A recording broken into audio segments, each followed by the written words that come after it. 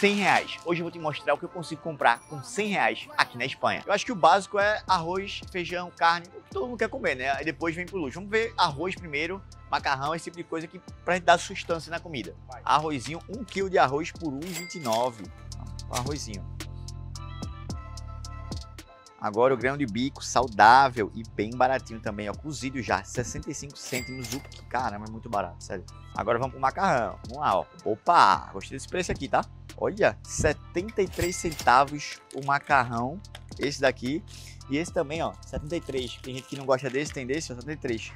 E tem uns integrais, por exemplo, ó, 1,15. Se você é saudável, você também consegue comer saudável barato aqui na Europa, ó, 1,15.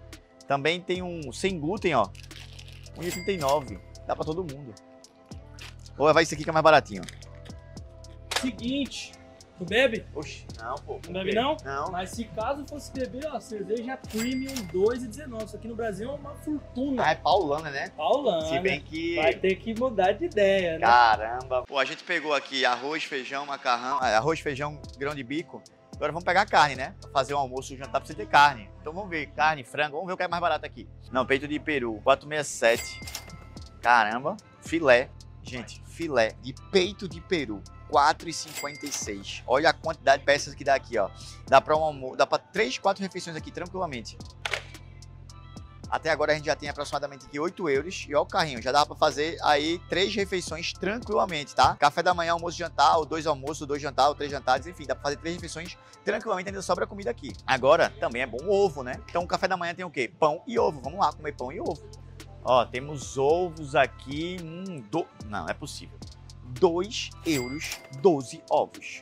E ovos biológicos ainda, ecológicos. É esse aqui mesmo. Muito barato. Tá ok, 10 euros, né? Falta 8. Pãozinho, pãozinho, cadê o pãozinho? Pãozinho, né, meu amigo? Café da manhã, pãozinho, ovo, né? Vamos lá. Isso aqui vai ter que sair por algum lugar. E quando sair, tem que fazer o quê? Tem que limpar, meu amigo. Então vamos aqui, ó. 2,39. Olha a penca de papel higiênico que tem aqui, ó. O 2,39. Vamos embora.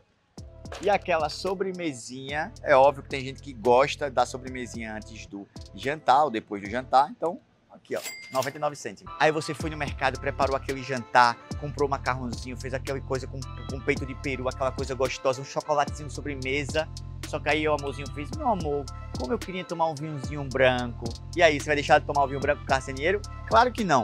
1,39 vinhozinho espanhol. Você dizer, meu amor, trouxe para você um vinho espanhol de Vega del Cega.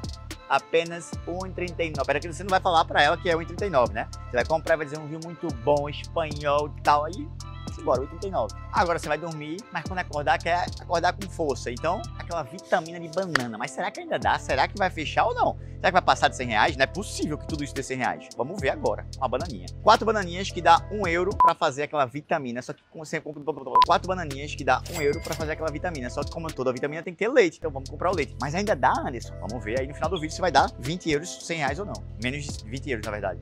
Vamos lá. Agora o leite já deu.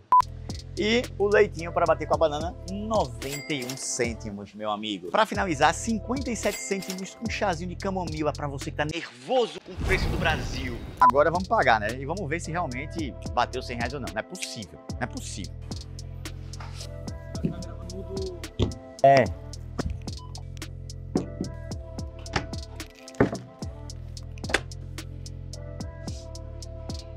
Olá, como estás?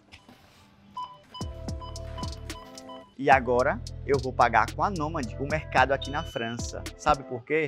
Porque a Nomad ela é aceita em mais de 180 países. Ela é a sua conta internacional global gratuita. Você não paga para ter essa conta.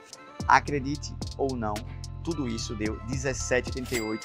Isso dá 93,81. Quanto é que isso aqui seria no Brasil? Falem aí.